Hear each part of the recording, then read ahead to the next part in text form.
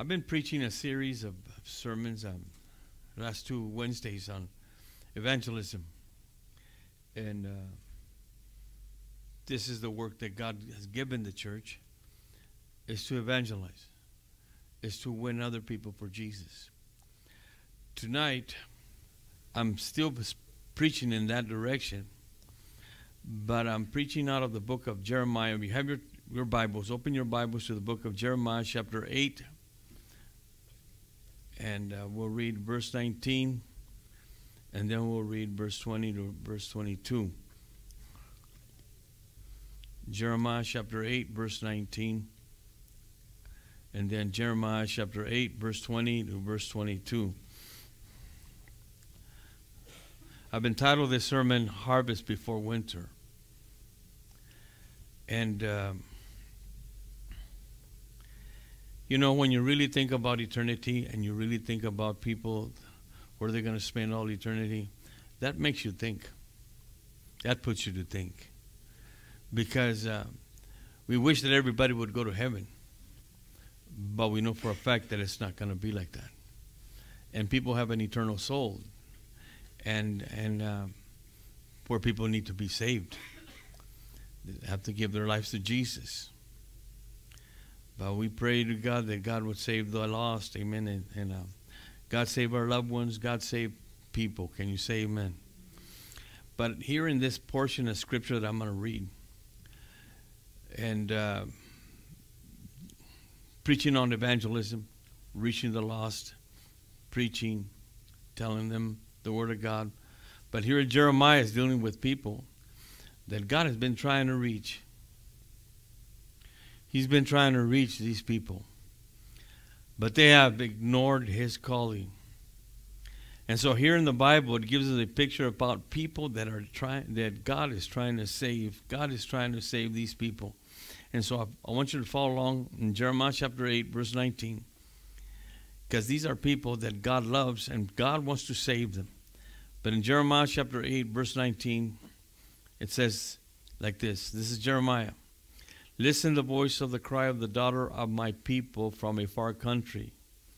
Is not the Lord, is not the Lord in Zion? Is not her king in her? Why have they provoked me to anger with their carved images, with foreign idols? Then in verse 20 it says, The harvest is past, the summer is ended, and we are not saved. For the hurt of the daughter of my people I am hurt.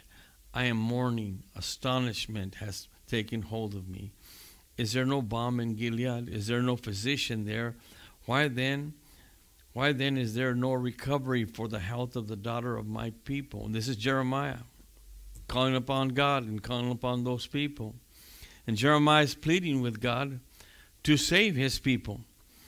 And uh, these words that, that we read here in the Bible is Jeremiah's his emotions. He says, I'm astonished. Astonishment has to- taken a hold of me. He's, he's, uh, he, he doesn't understand why the people are not responding to God. And, he's, and he sees and he sees the anguish of the people and he sees that people people need to get saved and people need to give their life to Jesus but they're going to die in their sin. These people are going to die in their sin unless God intervenes. And uh, this is where we live also. That, uh, how many know the world is dying in sin? They're dying in sin. They're rejecting God. And often, often they keep on rejecting what God wants to give them. God wants to save them. God wants to deliver. God wants to heal. God wants to restore. That's the God that we serve. But lots of times, people keep on rejecting God. And here we have Jeremiah. He's, he's hard, he has a heart that is broken. He has a heart that is broken because these are God's people. These are his friends. These are his neighbors. These are his people and he's broken in in his heart i don't know about you but have you ever sat down with somebody and you know that he's blind you know that doesn't want to respond your heart breaks. Your heart breaks. It breaks because because you want them seen saved. You want uh, you want them to know Jesus. You want them to come to salvation. And a lot of times because they they reject or they're ignorant and they don't want to hear that many times it breaks your heart. Because you love those people. And it breaks your heart. And so here's jeremiah very passionate. Very passionate of his prayer to god. Very passionate of what he's writing here. And uh, because he's asking god to save them you know, one of the things about Gilead, where you're reading the scripture, is there no balm in Gilead? One of the things about Gilead, they were famous. This this area of that country was famous for its healing medicine.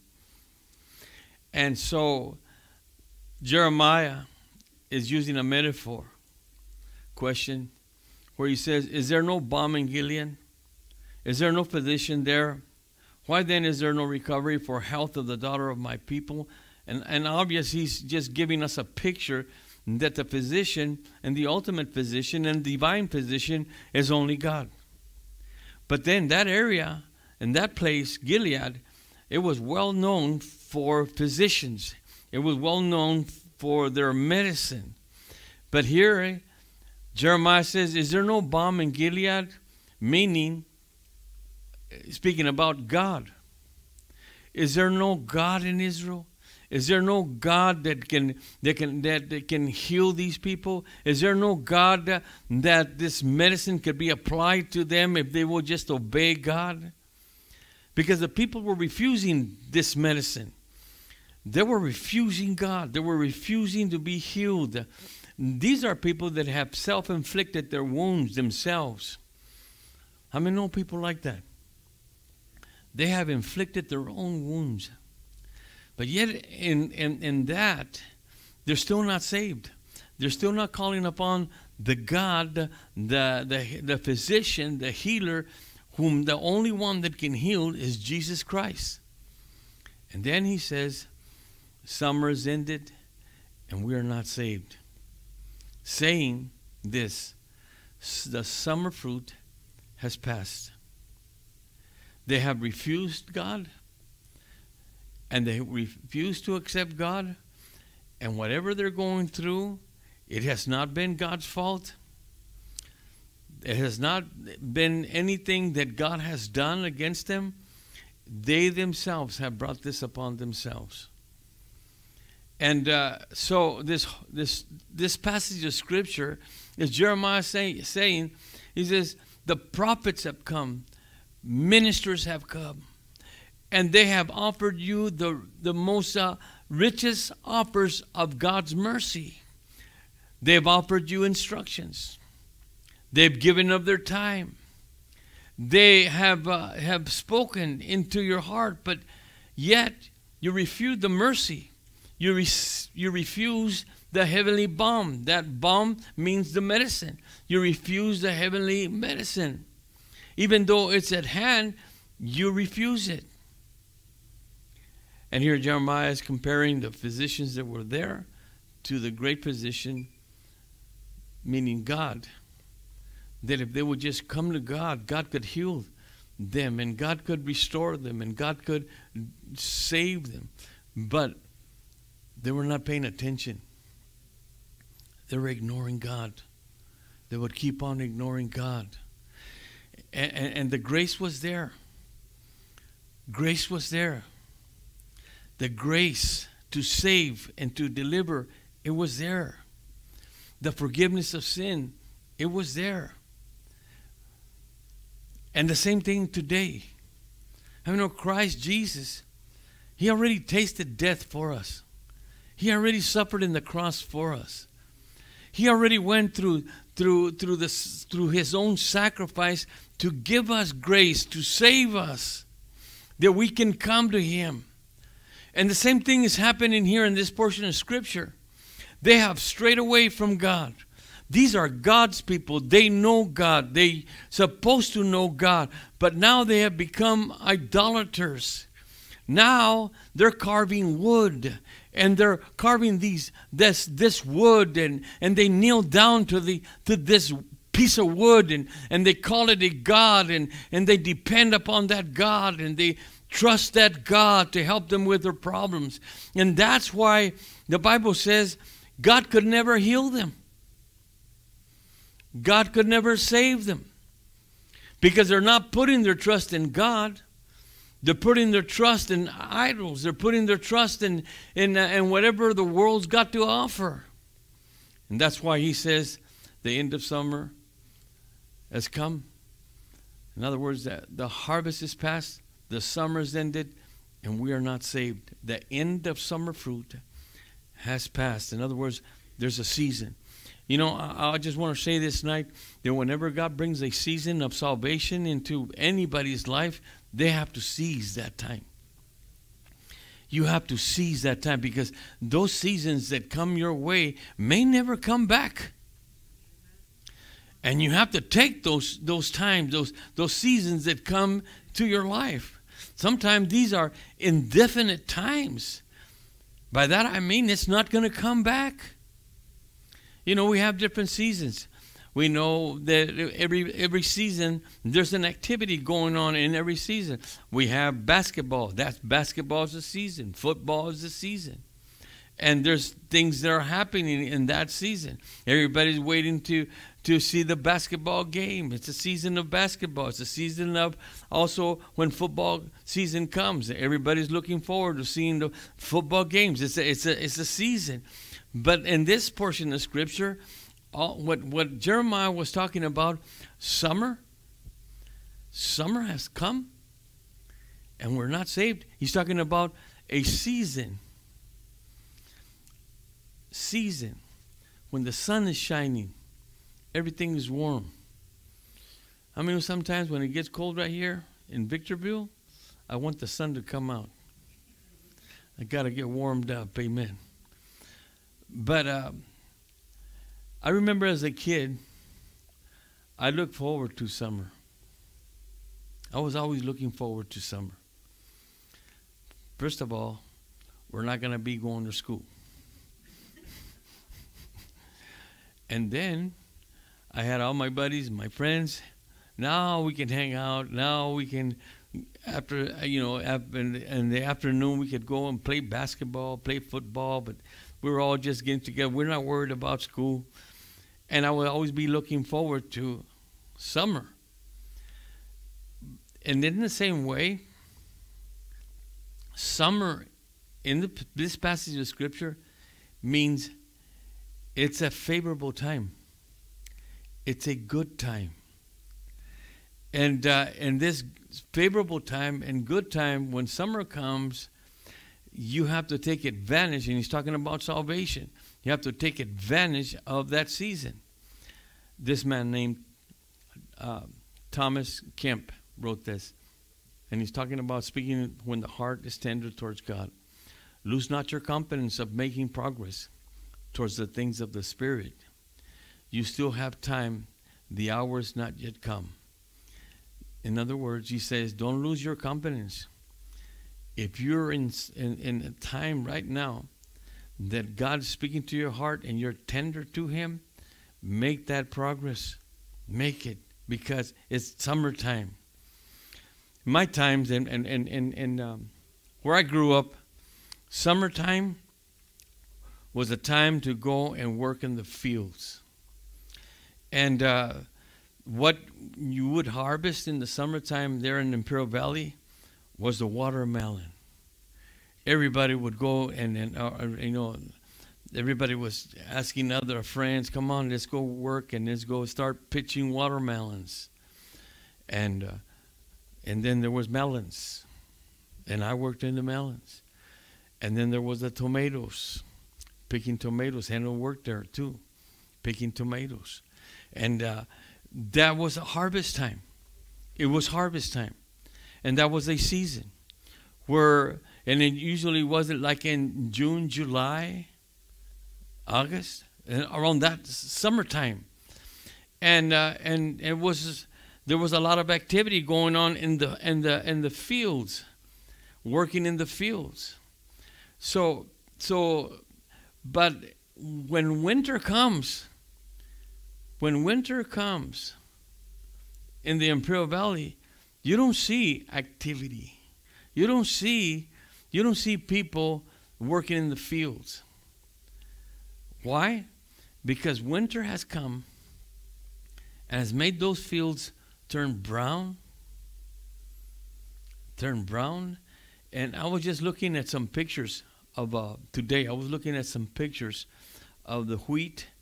If wheat is not picked up during the summer, and if they don't pick it up when they should pick it up, and I saw a picture of the wheat, even though it's white and gold, beautiful when, when it's time to pick it up, it was brown, dead, because winter had come. Winter comes.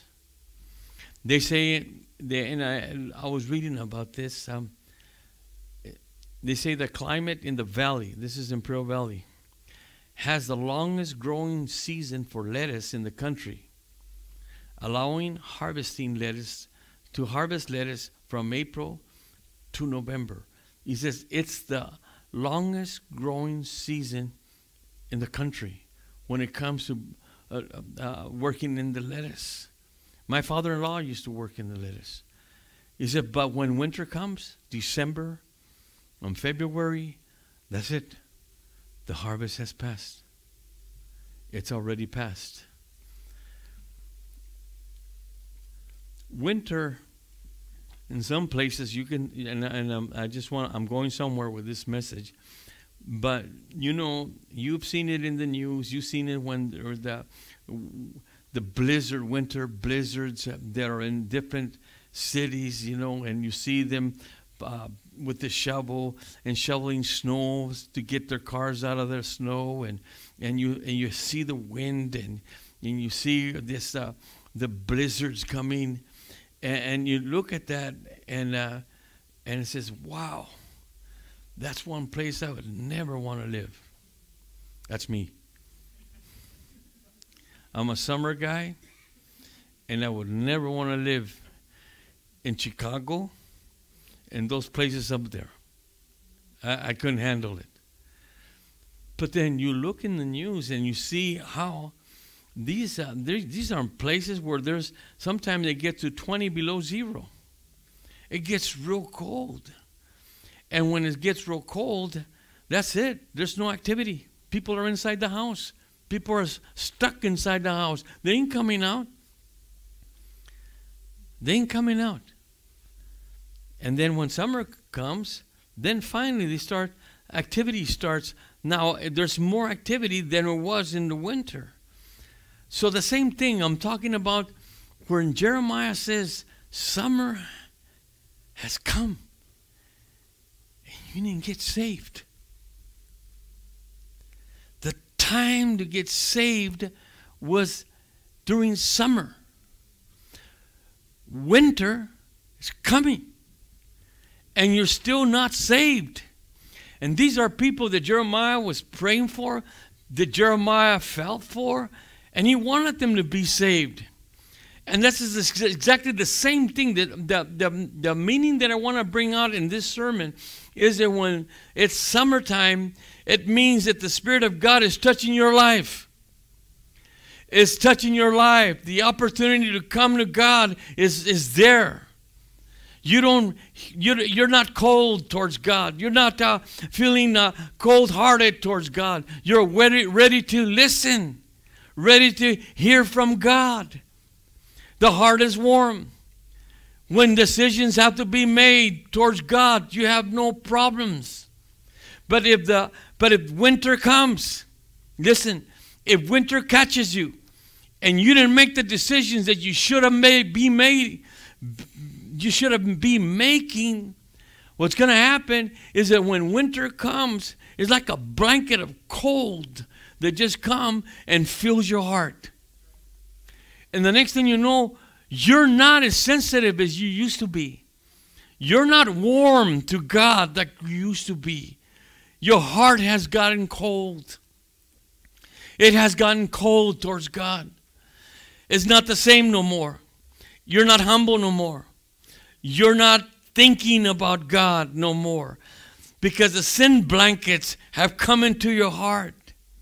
These the snow, the hail of sin blankets have come into your heart.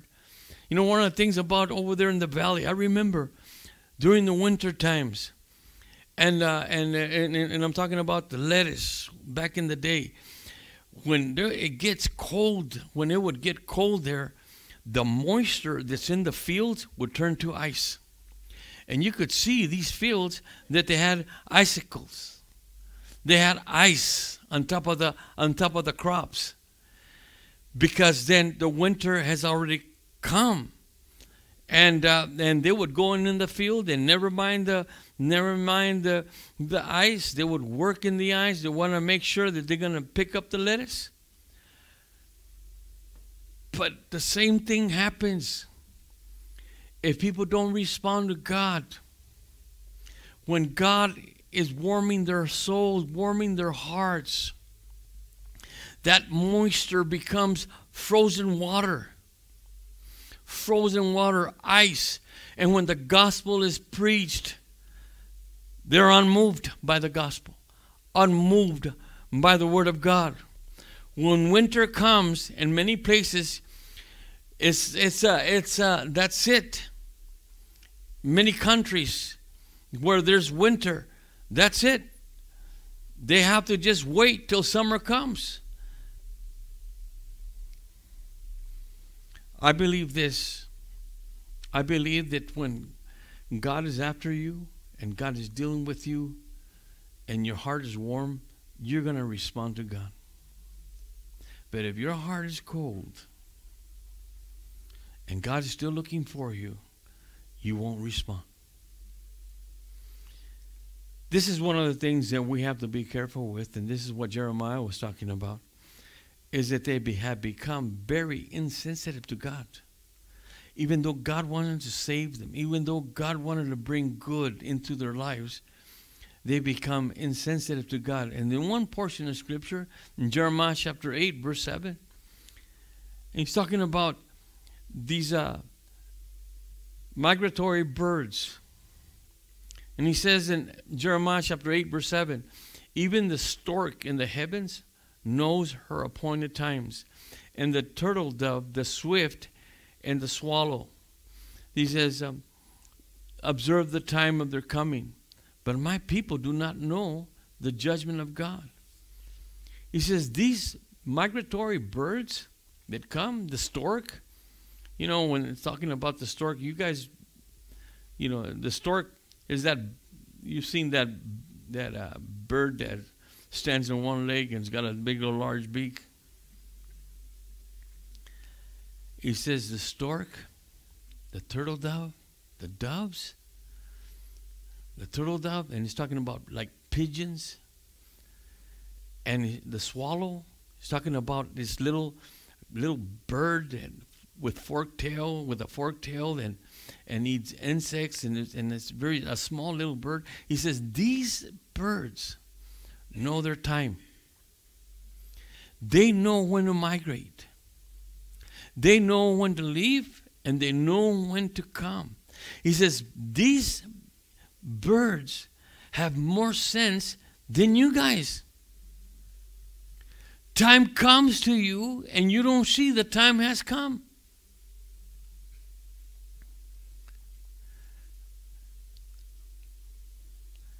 What he's asking, he says, you need to turn around. Take a take a right turn. Come back to God. Come back. You know when you get lost? I got lost one time. I told this brother, I won't mention his name, but me this brother was taking me to the LAX, so I was going to fly out to South America. And this is late at night, and we got lost. And we ended up in Watts late at night. I said, We got to get out of here, brother. And he was testing, uh, you know, that um, GPS. That was back in the day when they were just barely coming out. I don't know. It was a lady talking. Got us lost. We ended up in Watts. Man, I was happy when we got when, when we got back on the freeway and we came back and it took me to the uh, to the airport. But when you get lost, if you're really sincere with God, you don't want to be lost. You want to get back in track. You want to get back to where you were before. Because your heart is saying you're going in the wrong direction. You're not going in the right direction. You need to get back and get back on track. And when your heart is still warm, you're in summer. The summer is, is you're still your heart is still warm. You, you could feel God just speaking to you. Your ears are open, your eyes are open. The, the, the wanting to come back to church is there. Or wanting to just hear a, a, message or, or wanting to just somebody come and tell me that I uh, give me an invitation to come to church. Your heart's open in the summertime. I know exactly what I'm preaching tonight because there was a summertime in my life. And in this summertime, it was like uh, in, in, that little town where I grew up, I would hear preaching. There was this group of, of, of older men, and uh, they would have their their tent and they would set it up in that little town and, and they would start preaching the gospel and, and start praying for people for, for deliverance and for healing. And um, it was like they were planting a seed in that little town. Before them, and I was talking to this one brother that uh, he grew up in that uh, with with me in that town. He says, "Do you remember that older man?" He says, "Do you remember that older man, this white man that, that you know he was he was an older tall man and he had these little booklets and he would go on in town and and be passing out these booklets. Do you remember him?" He says, "Yeah, I remember him." He says, "Well, it's like he began to do this on his own." And then we begin to hear that the tent meetings that they were having. And then finally, we came and we heard the gospel and they invited us to come to church and we got saved. But he says, But do you still remember? He said, It was God preparing us, it was God getting us ready for the revival that was going to come into that little town. That's true, I said. That's true. It was just one seed after another, one seed after another, until the, those that had sowed the seed, then came the reaping of that seed, which were us in that church. But you see, that was that was our summer. I remember hear, hearing those um, preachings in that tent, and there was this one younger guy that would his father was involved in that group, and I would tell him, and I tell him, he says, "Why don't you sit down?" Or then in, in my in my front lawn or in my mother's house, he says, "Tell me what's going on over there. What is it that's going on?" And uh, he really didn't know how to explain it, but my heart was open. I wanted to find out what was going on in those tents. I remember getting getting some of my friends and, and going to Calexico because they had the tent over there. And then we, I just parked and I would just listen to the preaching and listen to what they were saying because my heart was tender. My heart, my it was my summer. My heart was warm. I could I just wanted to know about God. I didn't know about God. And finally, when revival when when when everybody started getting saved there in that little town and we started going to this church in El and then everything changed. But i want you to know something.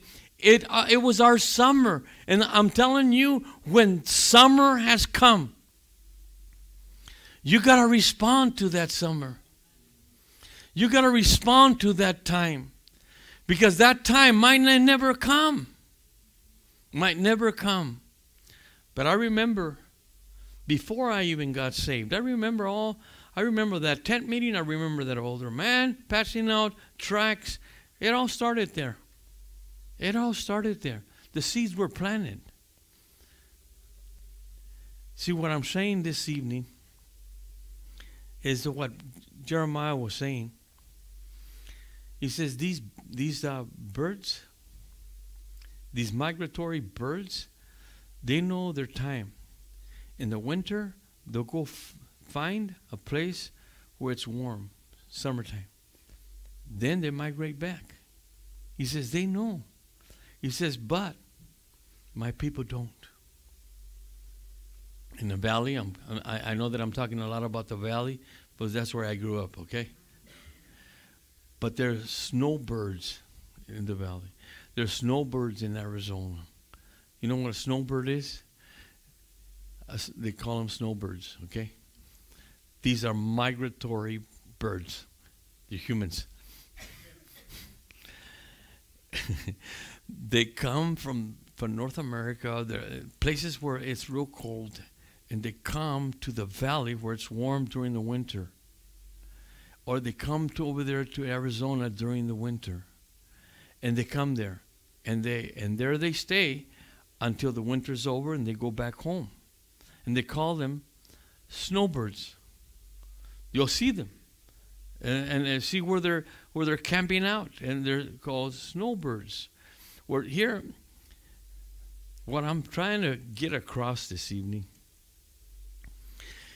is that there is a time, there is a season that you got to seize. Opportunities come. Opportunities come during the summer where your heart is open, where, where summer is coming, when spring comes, it's, you're going to summer and your heart's open and you have to seize those moments. And the greatest fear, the greatest fear could be somebody missing the timing of God. The timing of God. That's one of the things that I never want to miss. I never want to miss the timing of God. I didn't miss it when I got saved, and I don't want to miss it Every time that God brings up opportunity for me to do something for Him, I don't want to miss that time. The same thing goes with you. Your summer, your summer means opportunities are coming your way with God. And when they come with God, with and you know it's God, your heart's warm, seize that moment.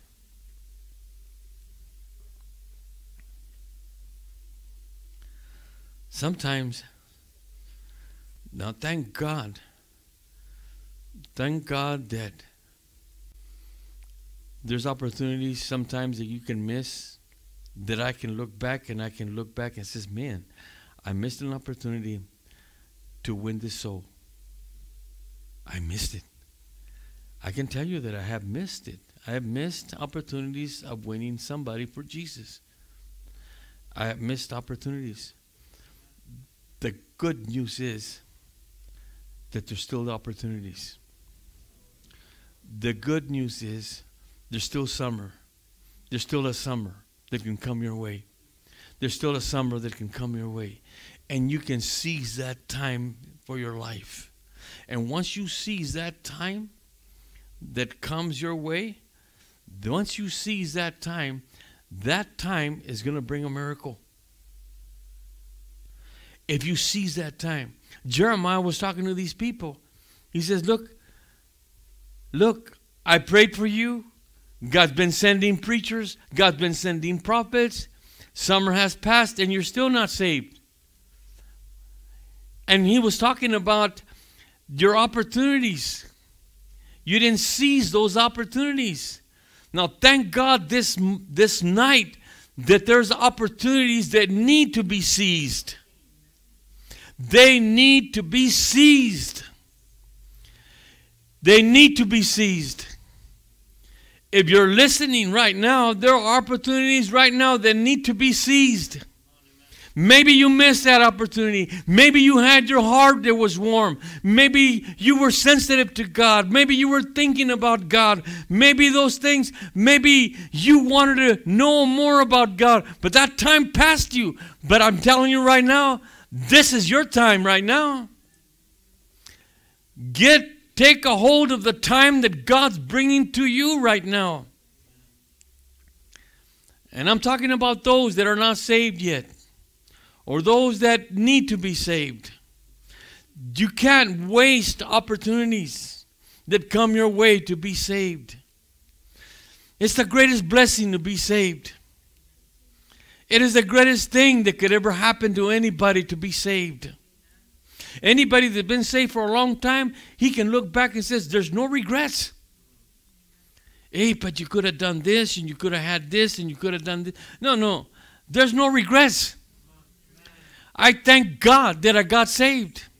There's no regrets.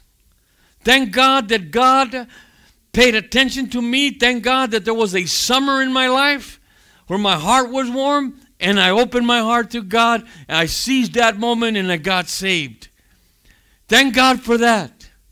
But there's a moment for you tonight that you have to seize it right now.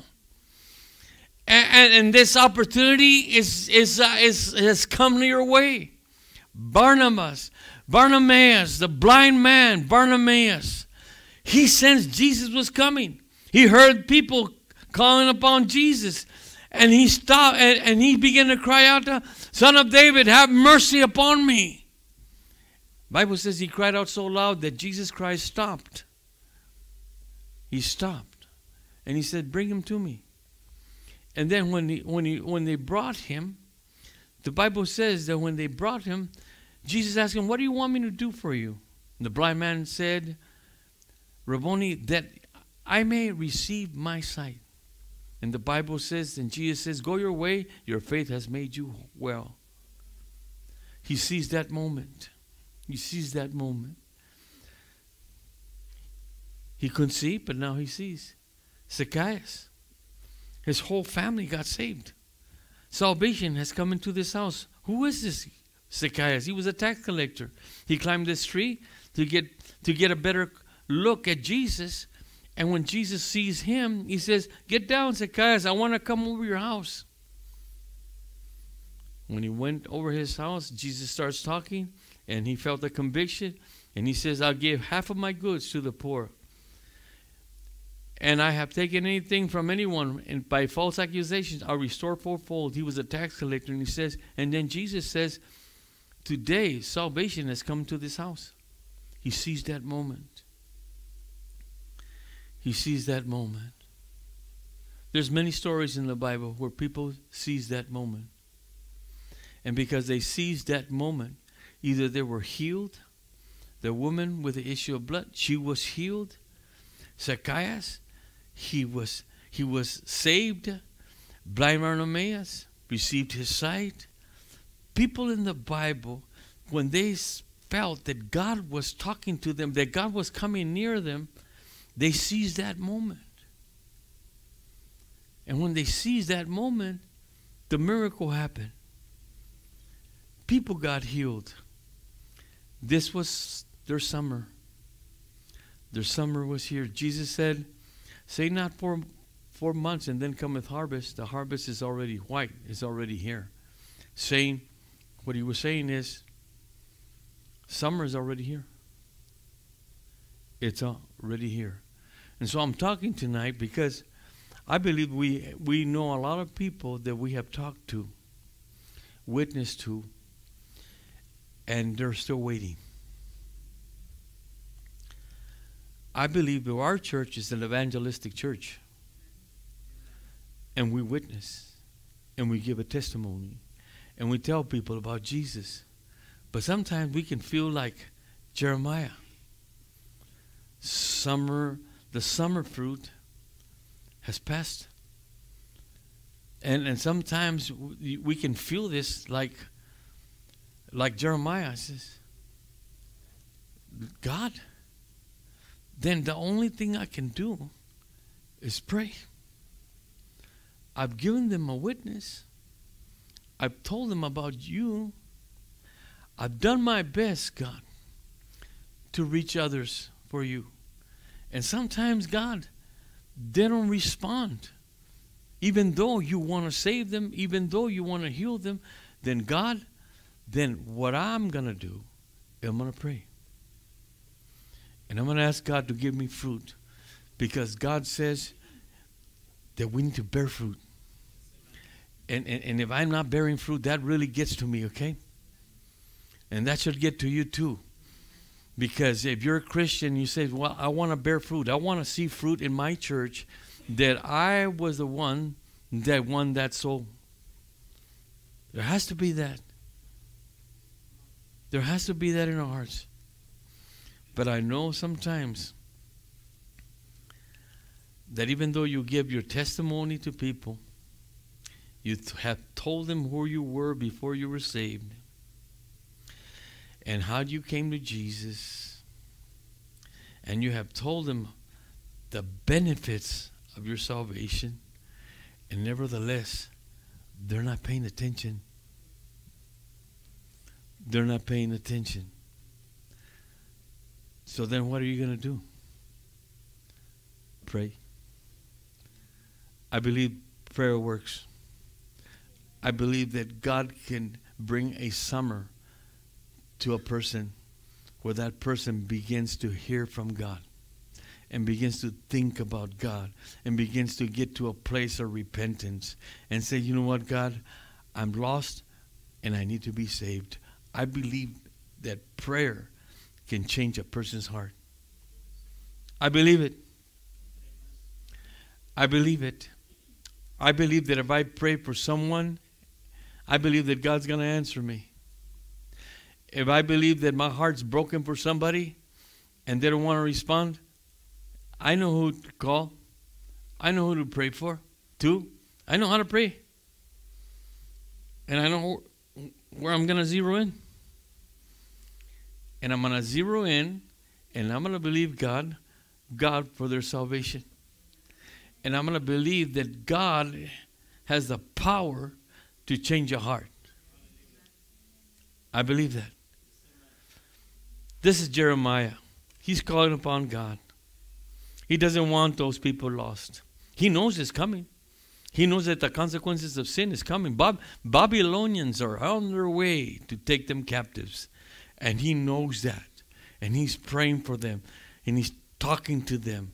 He says, look at these uh, these birds, these uh, they, these migratory birds, they know their time. They they have their own law. They have their own time time schedule. They they know when to go and they know when to come. He says they they operate in their instincts, and you have not heard. You have not paid attention.